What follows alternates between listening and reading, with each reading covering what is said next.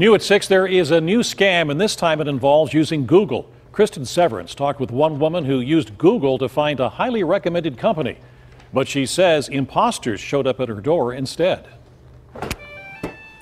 When Courtney Pearson's washing machine gave her an error message, and it would come up here on the little screen. a friend told her to call Al's Guaranteed Appliance Repair. He actually talked me through things and we fixed it that way.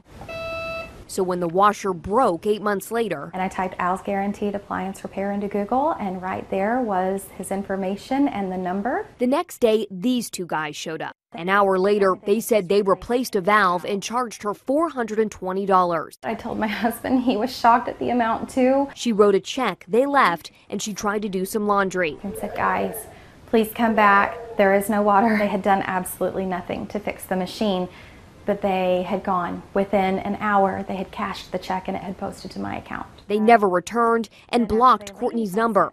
She looked up Al's Guaranteed Appliance again. This time she got the number from Yelp. Al's Guaranteed Appliance.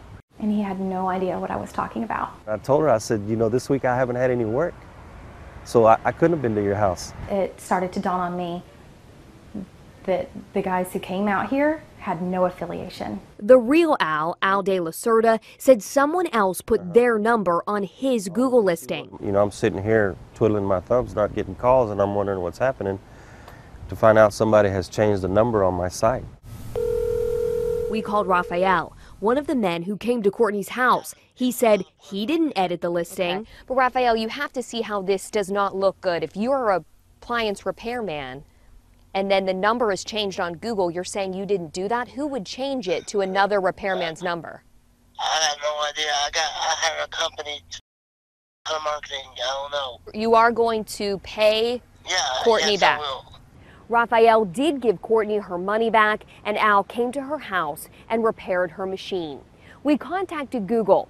The company wouldn't address this case directly, but said in a statement merchants who manage their business listing info through Google My Business are notified via email when edits are suggested. Cristin Severance for CBS News, Dallas.